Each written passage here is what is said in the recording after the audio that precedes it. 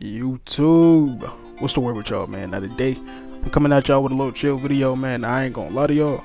Now this is a little quick video, man, because I ain't gonna lie.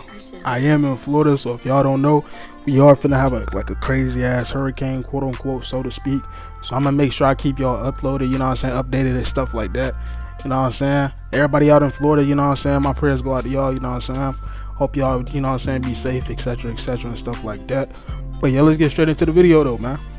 So first thing you want to do when you want to rep up fast as a guard is go straight to the starting five, man. The only reason why I say starting five, man, is only because you can be able to drop 40 to 50 a game, and you can also get all that rep. You know what I'm saying? Now, when I say you get all that rep, bro, like, for example, me, I literally just hit starter two like last week, my nigga. I'm damn near about to be 40% already just by playing, just by playing starting five. You know what I'm saying?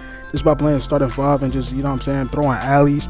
And that's also another thing too that y'all want to start doing if you a guard is you want to make sure you throwing oops, man. Make sure you at least you know what I'm saying throwing some backdoor oops, some self lobs or some pick and roll oops. You know what I'm saying? Because ever since like I don't know like 2K17, man, alleys been like a cheesy ass way to get quick rep. You know what I'm saying? It's just throwing alleys. So make sure you want to throw alleys. You want to hit the starting five.